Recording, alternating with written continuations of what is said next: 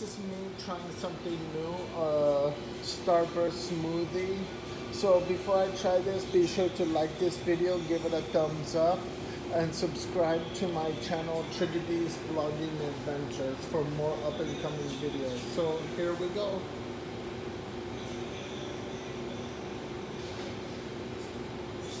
Wow, it actually tastes really. Show him the. I can taste the starburst in here. It's actually really tasty. What color is it? It's kind of pinkish. Right here, as you can see, it's all kind of pinkish. It's it's really tasty. I strongly recommend it for people who have a sweet tooth. What are the ingredients? So the ingredients are a bunch of different starbursts. They have many different starburst flavors, and different starbursts will give it different.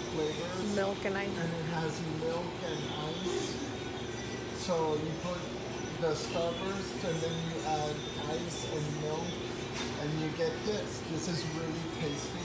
So once again, be sure to like this video, give it a thumbs up, and subscribe to my channel, Trigga D's Vlogging